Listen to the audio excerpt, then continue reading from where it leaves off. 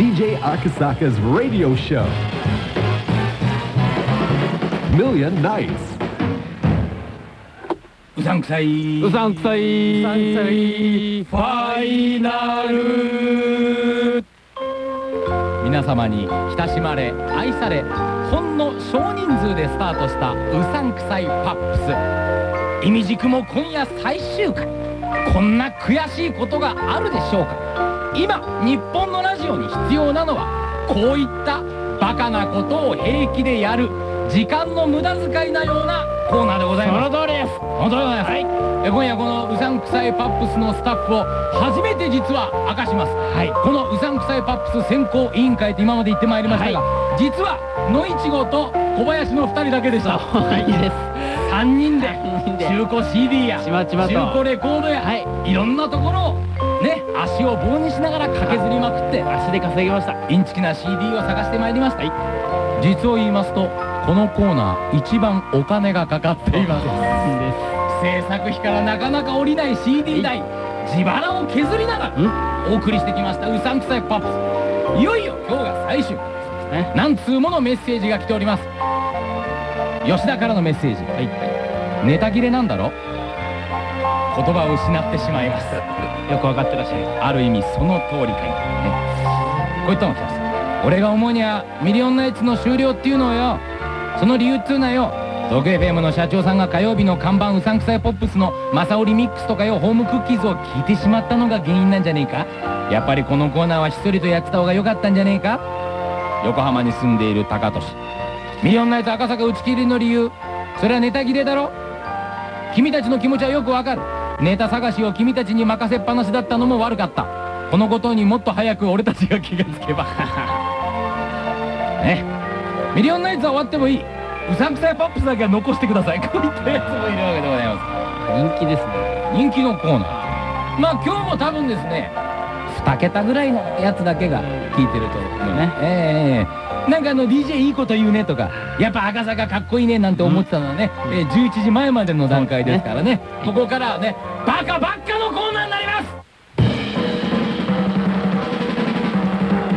ねえこの野郎。文句があんだったら分かってろよこの野郎俺たちは負けねえぞ。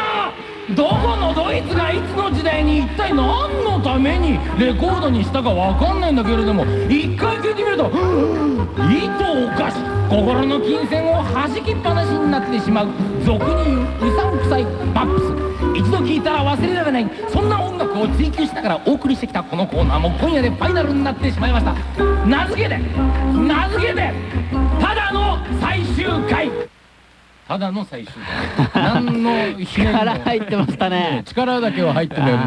何のひねりもないのよ。ね。ええ何にもないのよこれが。もうねスタッフの小林なんかもう今目頭熱くてねこのコーナーで涙流すからねもう。本当にね勘違いも甚だしいんじゃないかという。暗いコーナーですからね。うさんくさいやマニアうさんくさいパップ。俺もねまだよくわかんないんだよ。うさんくさいエアマニアックスなんだかうさんくさいポップスエアマニアックスなんだかわかんないんだけど、ただあのエアマエアマエアなんだっけナイキのエアマックス。エアマックス人気に便乗しようかなと思った思ってつけただけなんですけどもうあれも終わっちゃったしね。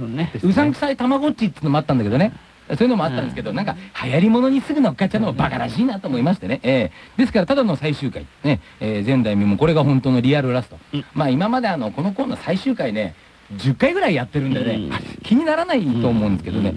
今日はでも違いますよ、はい。ただのベスト5にしません。はい。はい。やめときゃいいのにベスト10にしましたそうです。今ま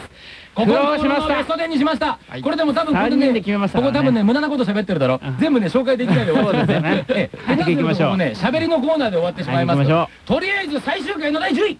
さてゆこう恋のチューリップ。君と僕とは恋のチューリップ。Go! Let's go や Let's go や Let's go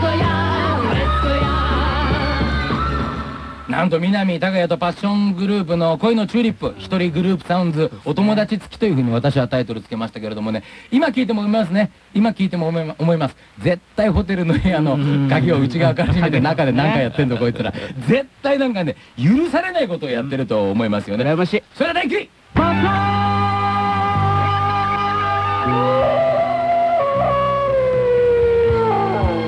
親父とおふくろが離婚したのは俺が俺が中止の時だった。こんな最悪な出だしの曲が他にあるだろうかいきなり曲がスタートした瞬間に親父とおふくろが離婚したのはそんなっていう、これこれは実はですねあの禁断のティーンエイジャー赤木聡の正雄なんですけれども、はい。これはあの正雄リミックスオルタネイティブアンダーグラウンドヒューマンネイチャーミックスアップアンドダウンホワイディジュエーバー号の方が第9位だったんですよ。すね。オルタネイティブ初号機からおい赤坂せっかく俺がこの曲をよ日本語訳を完成させたのによファイナルって名前どういうことなんだ、ああいやね。これ訳せるんですねこれね。よくわかりませんけどね。はい第8位。出たムカつくあむかあその言い方がムカつくクソガキ自分じゃん本当にもあムカつくまだ言うかねこいつはね。こういうねことは本当はね放送上言ってはいけないんですけどね、うんこういうなんか自分ちゃんっていうの、ん。怪我でもしちまえばいいのに。転んですりむかねえかなとか思います泣かねえかなこの女とかね。泣かしてみたい泣かしてみたいですねなんかね、ええまあ、幼児虐待になっちゃいますからね、そういうことはできないですよね。これあのホームクッキーズのあの子のせいなの。は妹ですねこいつはね。スレスレですね。ええなんとこれあのハガキの95%が苦情ですからね、クレームですからね。こんなクソクソ生意気な小娘。こんなやつが大人になってからな男たちはな大変なんだこういうやつが指輪買ってくれとかな。大体こういう女大人になったらですね貴金属売り場に 100m 以上近づけていけませんね。るね。何言うか分かりませんからね。ええあのプロムナードとかねあのショッピングアーケードああいうとこ絶対行っちゃいけませんね、ええあのデパートなんか行った日にはね100年出てきませんよこういうの。ええ大変でございますよ、ええ。石川のタモリコからのメッセージホームクッキーズのあのクソ生意気な小娘。あいつの曲のベースラインがムカつく。ねえ。何をもう何でもムカつくみたいです。第7位。俺は俺は俺新宿にやろうさ若いんだプラスマイナスゼロなんだ今さらに東京の中心は新宿と思っている。新宿野郎とまでこうあえて言ってくれる。間宮宏の新宿野郎これ我々はプラマイゼロの都会人と言いましたがね。未だによくわからないんですけれども。そして第6位です。抱かれたい。抱かれたい。抱かれた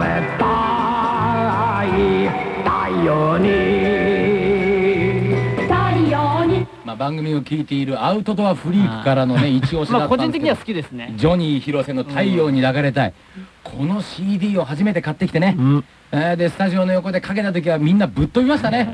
全員この選考委員会3人で同じ声を揃えて「汚ねえ声だな」聞いてるとハマるね。えーこれあの自然の生き物を愛するリスナー、まあ、野生の王国ファン並びに 何と言いますかねザリガニマニアからの熱い支持、まあ、キングオブザリガニボイスと呼びましたけれどもね、えートイレのハンソン日に日に秋が深まり始めた。夕方の空森の木々が徐々に赤みを増しました。池の縁を覗くと同じように赤みを増したザリガニがこういったザリガニ。ポエムですねでもね。もうザリガニに関する君からのハガキは結構ですから。そしていよいよベスト5の第5位。可愛い娘さんが怯えとるぜ。やった。出た出た。ポケットから手を出して謝んな。今日はジャムかも港祭り。素晴らしいです。妹を連れてお祭りに行っただけなのにどこからともなく現れた 兄さんが可愛い子が泣いてるじゃねえ。かいやこれ妹なんですけれども。そんな風に勝手に俺がしちゃったってのもあるんですがね見事港の陽子横浜横須賀のベスト5隣の町ではこんな事件がありました。登る兄さんで港祭りが第5位ですそれでは第4位。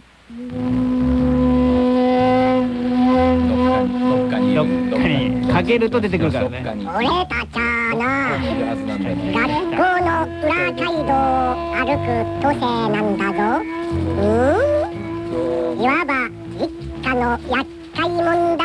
もどっかに。あ、あいだ！あ、あいだ！いだいだどいた？どいた？早い。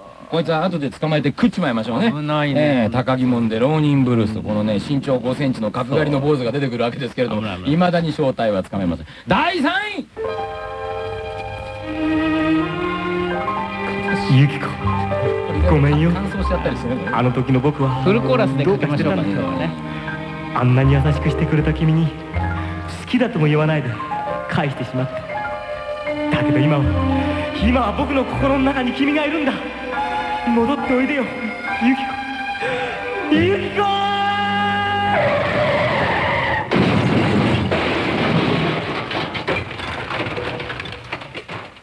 どどうも言いようがないですよ。これ一応感想なん感ですよ。想しましたねこれフルコーラス。これはあの歴史がありますよ、うんこのスタジオの中で山下達郎さんにこれを聞かせた時に今野一子君が座っているその椅子の後ろにタッツィはねじりパンのように転がりましたからね。そうですね。ヘッドをしたまま。ゴロゴロ。ちゃってましたからね。何これ。大変なことになってました本当に。赤坂君何これって言われて俺も何と説明できない自分がいたんですけれども。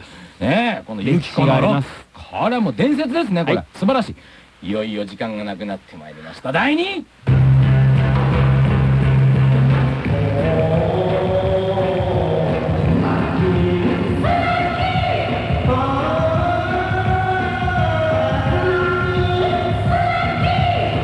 カイドウはじめとスナッキーガールズのスナッキーでおスナッキーで踊ろ地獄谷からの一人 GS、意外なあれですね渋い小ギャルたちからですねこれ結構支持されてるんですよ、これがねあのエコーがわかんないんですけどね、でもあのエコーが必要なんですね。スナッキー食べてみたくなりますね。私もなのにね一度ね。いまだに送ってきませんでしたね、それはまあ仕方がない、はい。さあいよいよファイナルの第1位は何なんでしょうか、聞いてみて多分情けないと思います。この曲。King, the king, you dance tonight. Whoa, the king, the king, you dance tonight. The king dance and a lucky dance 佐藤のとドッキングダンス。ね。えこれは我々がつけたサブタイトルが4畳半ワンハンドの浸透圧山積みのクリネックスとです。というふうに名付けたわけですけれども、え多分一人で夢見たんでしょうね、はい。えーまあまあ大体今10代後半ぐらい。がね夏になると、まあ大人気ですね。夏ぐらい10代人気夏ぐらいになるとこういろいろふつふつと湧き出てくるわけですよ。うわ今年の夏こそやりなーとかこう出てくるんですよね。俺まだ知らんなーとかあーね女大いいですね。まあ、そういったやつらのテーマ曲でただタイトルがいいですね「ドッキングダンス」そのまんまじゃないか今更言いません、はい。ドッキング、ん。素晴らしいでまあ。これが実は1位ということで。もうほんとたくさんのあのハガキがまたこのコーナー来たんですけれどもね。ええただあの最後の最後までねリアルなイラストはやっぱりね来ましたね。来ました。すごいですね今回もねもうねうん。もうなんていうかな目を背けたくなります。ちゃんと送り返してやるねお前にっていうハガキがね 来ましたね。それも拡大して、さあということでこの、えーうさんくさいパップスなんですけれどもね今日をもって終了しなければい。けないということでね一曲やはりかけるということでやはりこの曲がだいぶ爆発させてくれたんじゃないかなということで,、ね。もう一度思い出してもらいたいそして最後に言います。君たちからの少ない指示友達のいないリスナーからの指示え大変我々は迷惑をいたしました、はい。はいありがとうございましたほらどっかんどっかんだよ来ましたね。忘れてましたよこれをね。これしかないね。これ仙台の夜で爆発したもんね俺たちね。行きましょう。ハイキンゴーゴー。ブルージンならボーイやきっとパイでもお食べよきっと坊やに似合うわ。あたしはあたしは大人になったの。真っ赤に。テケテケを口で言いましょう、い、いですか？アートがアートがアートがあ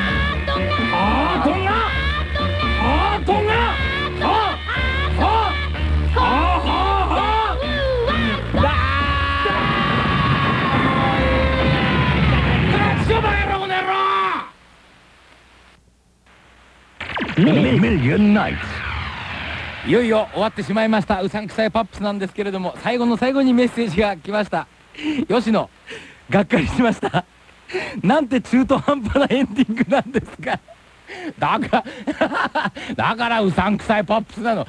きちんと終わらせないところがいいの。ワンコーラスで非常に中途半端な後味の悪いような終わり方をするような。それがまあ一応うさんくさいパップスらしかったというね、えー全然いいですね、えー厨房。ファイナルらしからぬエンディング。最悪じゃ。ユミ。がっかがっかりです。たたった3人しかスタッフがいなかったなんて。え。こんなもんですからね。こんなもんですからね。えーもうたまりませんね。しかし君たちからの、えーそんなこんなのあんなことやこんなことを書いてあるハガキは我々スタッフ一同非常に楽しませてもらいました。まあうさんくさいポップスというねいつ始まったコーナーでもこれ結構前のうちからやってたんだよなずっとな。なんかこうあのー火曜日の夜ぐらいちょっとバカなことやってですねいろんなこと忘れようじゃないかね。そんなことを思っていたわけじゃないんですよ。ただ適当にやってただけですからね。でも残念なんで最後はこの曲にしました。高俊えそれから東京に住んでいる高田ほか来ました。やっぱりうさんくさいポップスの原点といえばこの曲しかありませんね。ということで私もそう思います。財津一郎大先生でお送りいたしましょう。花のピュンピュン丸でございます。ピュンありゃりゃんこりゃりゃんおつむのネジがこりゃまたばっちり緩んでる。また明日。なんだなんだなんだピュンピュン丸だ。赤いマスクのちび丸連れてこりゃまたちょいとちょいと。どってどっての大事件